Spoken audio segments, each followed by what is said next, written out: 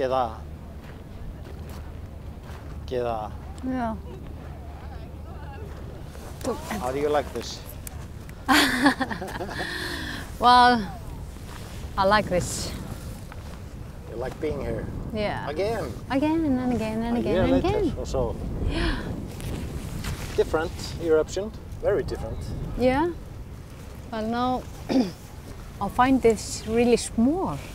Yeah, but they say it's uh, five to ten times bigger. Yeah. And uh, well, we still have yet to find the photogenic side of this eruption.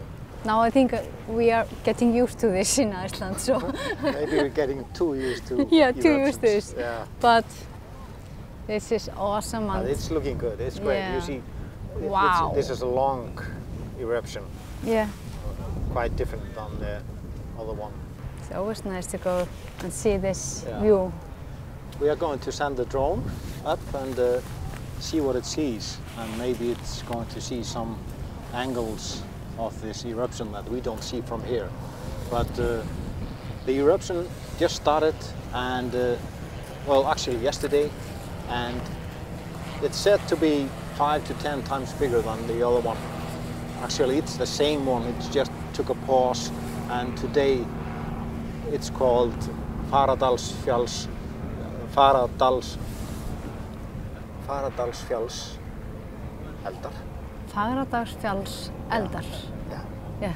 You see, I have to practice Faradalsfjalls eldar.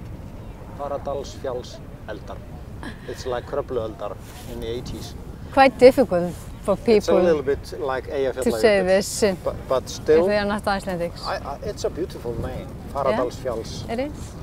It is. eldar. Very It's, uh, beautiful. It's referring to a long period where the eruption lies down and comes back again and again and again. This time, it's on. Woohoo!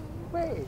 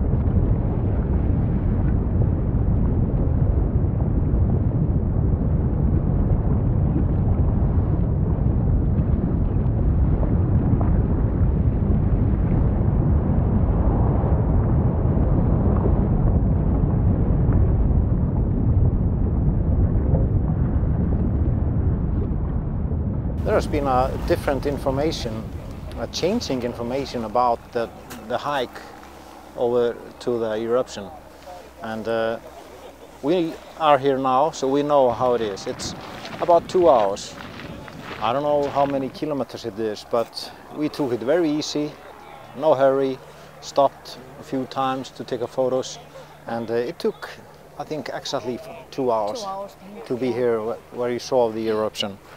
And uh, if you went to the uh, eruption last year, there are no surprises in this hike, except that it's maybe, well, up to one hour longer.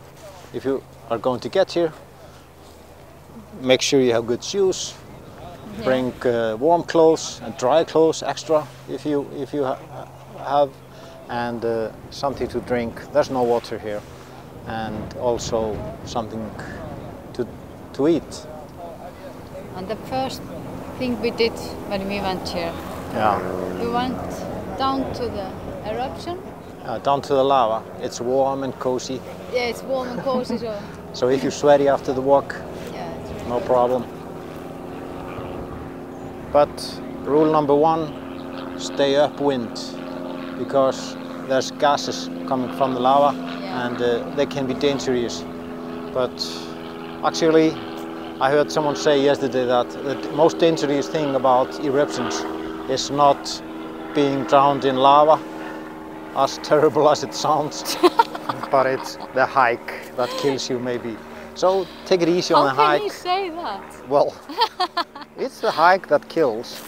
In the history of Iceland, only one man has died as a direct cause of uh, eruption. Yeah, So, uh, yeah, a long time ago. Uh, 60, 1960 something, Yeah. a long time ago. So, but be careful, Stay safe. stay safe.